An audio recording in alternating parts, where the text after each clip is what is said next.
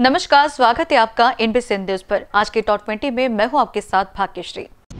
जम्मू कश्मीर की 24 विधानसभा सीटों पर वोटिंग जारी है। तगड़ी सुरक्षा के बीच मतदान हो रहा है।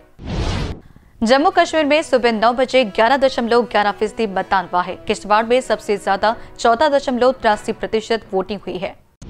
इसराइल के प्रधानमंत्री बेंजामिन नेतन्याहू अपना अमेरिकी दौरा रद्द कर सकते हैं। उन्हें 27 सितंबर को न्यूयॉर्क जाना है। नवाब मलिक के दामाद समीर खान मुंबई के कुल्ला में एक कार दुर्घटना में गंभीर रूप से घायल हो गए हैं। लेबनान में हुए पेजर धमाकों को लेकर अमेरिका ने कहा है कि धमाकों में वो शामिल नहीं था और न ही इसके बारे में उसे पहले से कोई जानकारी थी। कोलकाता के आरजीकर मेडिकल कॉलेज और अस्पताल में रेप और हत्या के मामले में सीबीआई की पाँच सदस्यीय टीम ने पीड़िता के घर का दौरा किया।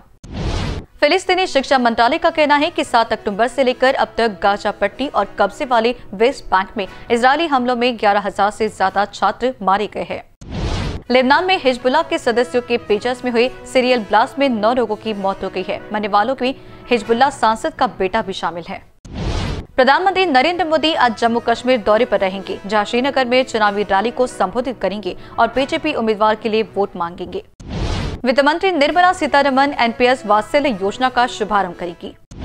कांग्रेस नेता सचिन पायलट जम्मू कश्मीर के पूछ राजौरी और जम्मू सिटी में प्रचार करेंगे।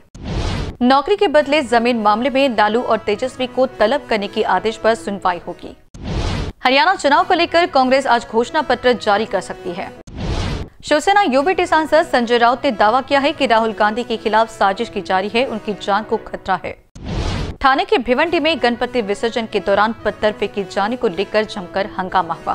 पुलिस ने स्थिति को नियंत्रित करने के लिए लाठीचार्ज किया। कुछ लोगों को हिरासत में लिया गया है। संजय राउत ने कहा कि एमपीए सहयोगियों के बीच सीट बंटवारे पर बातचीत 18 से 20 सितंबर तक होगी। तीन दिनों तक लगातार बैठक होगी।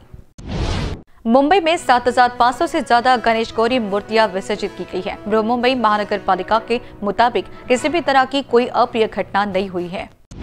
केंद्र सरकार में मंत्री रामदास आठवले ने कहा है कि पासपोर्ट रद्द किए जाने के बाद राहुल गांधी विदेश में भारत का अपमान नहीं कर पाएँगे।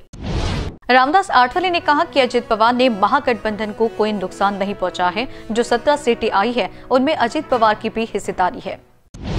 भारतीय शेयर बाज़ार की आज कमज़ोर शुरुआत हुई है और बाज़ार खुलते ही शेयर बाज़ार में आईटी स्टॉक में बड़ी गिरावट देखी जा रही है। ये थी आज की टॉप ट्वेंटी खबरें। खबरों का सिलसिला यू ही चलता रहेगा। आप देखते रहिए इन बी न्यूज़ नमस्कार।